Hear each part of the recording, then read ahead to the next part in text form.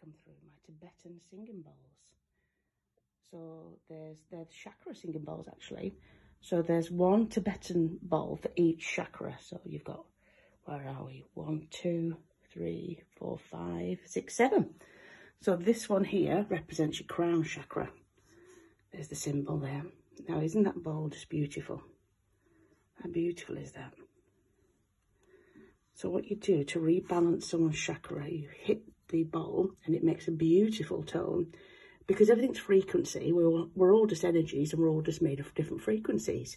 So by hitting that, it rebalances the imbalance of your chakra. So should we have a listen?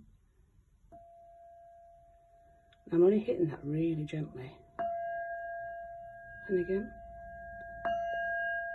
There you go.